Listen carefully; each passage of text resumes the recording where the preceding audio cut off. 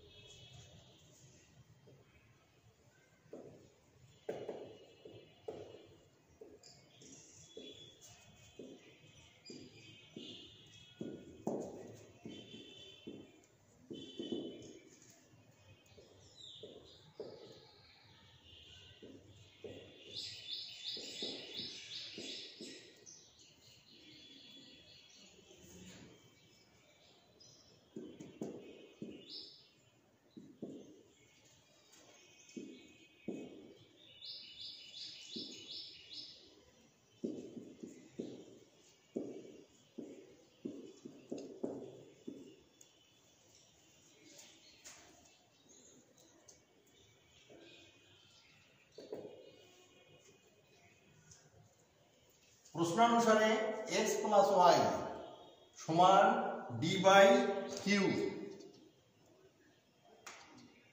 এক নম্বর সমীকরণ। এবং এক্স মাইনাস ওয়াই সমান ডি বাই পি দুই নম্বর সমীকরণ। ঠিক আছে? সমীকরণ এক ও দুই যোগ করে পাই টয়েস এক্স সমান D by Q plus D by P অতএব এক্স সমান এটাই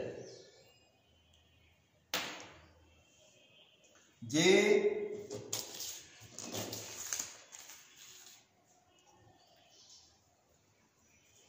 এখানে এক্স প্লাস ওয়াই সমান ডি বাই কিউ কেন হলো? আমরা জানি বেগ সমান অতিক্রান্ত দ্রুত বাই সময়।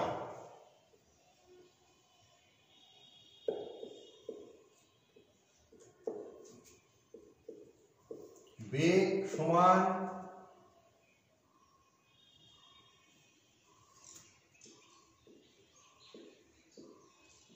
অতিক্রান্ত দূরত্ব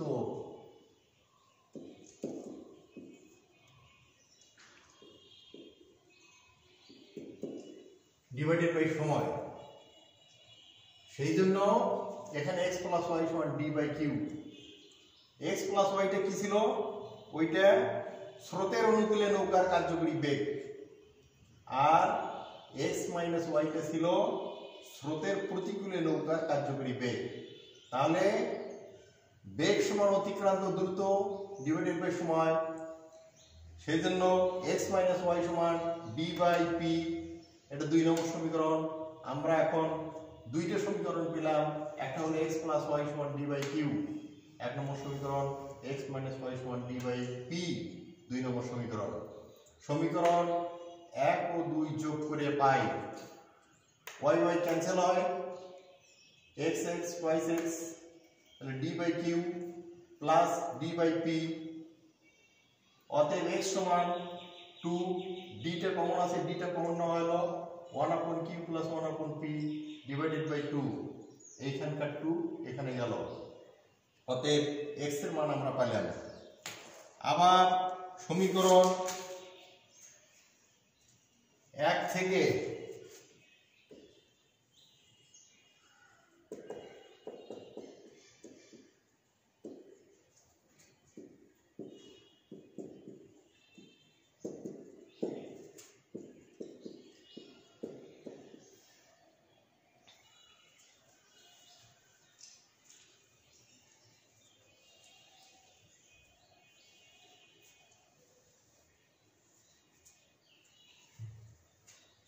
সমীকরণ এক থেকে দুই বিয়োগ করে পাই।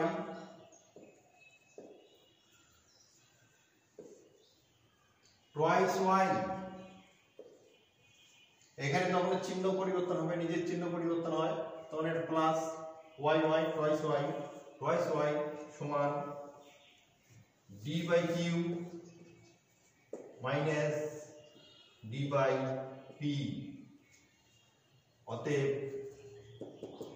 y সমান সমান d by two one upon Q minus one upon P তাহলে আমরা x এবং y এর মান পেলাম। আমাদের x এবং y এর মানটা কি ধরা ছিল? x টা ছিল কার্ভের x টা আমরা ধরে নিয়েছিলাম নৌকার বেগ আর ওয়াইটা স্রোতের বেগ অতএব নৌকার বেগ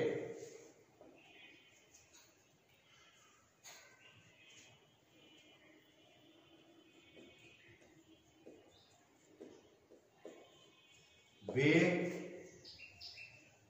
D by two one upon P Q plus one upon P kilometer per ঘণ্টা, তার মানে ঘন্টায় এক ঘন্টায় এত কিলোমিটার।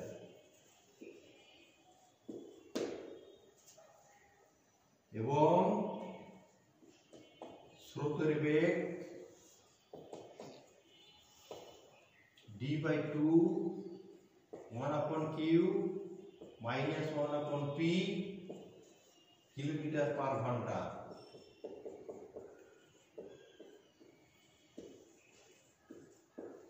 এই দুটোই অ্যান্সার বুঝতে পারলে?